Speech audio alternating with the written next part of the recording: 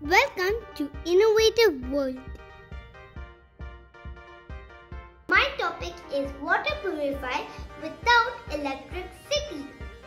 In the science fair, I will show you how to purify dirty water without electronic purifier. In 1908, Hartwood Taylor invented the first electronic water purifier. But before that, there was another kind of technique to purify the water.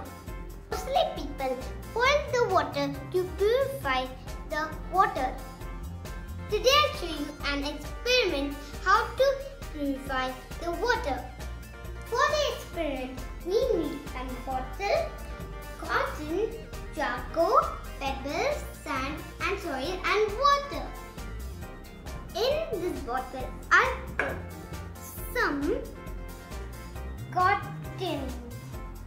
Now I'll put some sand in the bottle. Now I just put a bowl of sand in the bottle. Now I'm going to put some pebbles. Now we'll put some charcoal.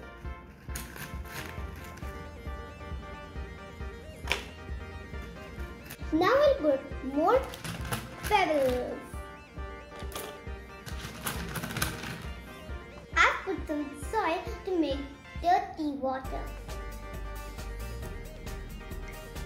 Now our experiment time is starting. So we'll put the dirty water in the bottle and let's see which water comes down from here.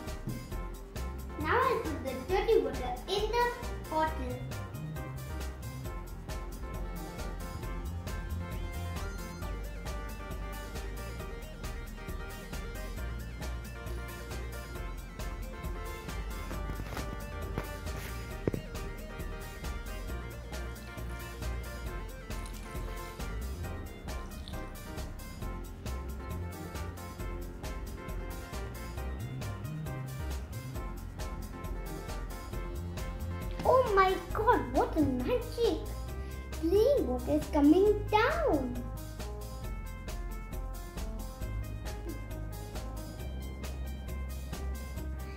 Thank you so much. I hope you liked my experiment. Oh, see, the water is coming more faster. Thank you.